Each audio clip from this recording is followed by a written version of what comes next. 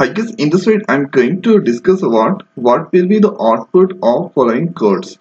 So this is the code at here and here we have uh, four different options. So at here first option compilation error and here second option code works correctly and here system.out.print statement is written. And here third option system.invalid cast exception and here system.io IO exception. So lots of people confuse. They uh, tell about uh, uh, the compilation error. Some people selected system.io.io exception and only few people selected add here this option code work correctly.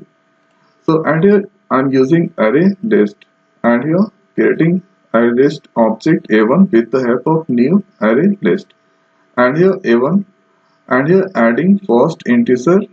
And here second that I'm entering character. And here third that I'm entering a string. And here after printing the value of a1 so a1 first time that received integer next character and it lost a string.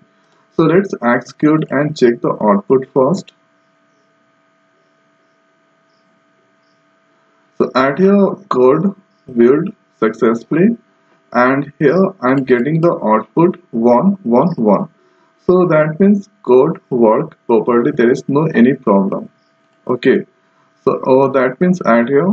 Second option is correct. Code works correctly and your system out print statement is written. So why code works properly? Because add here array list accept object of different data types.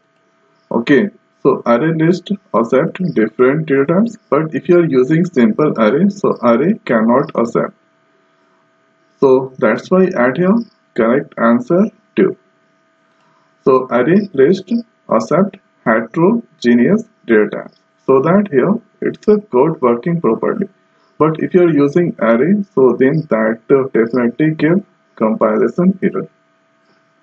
So this is the one beautiful important interview questions.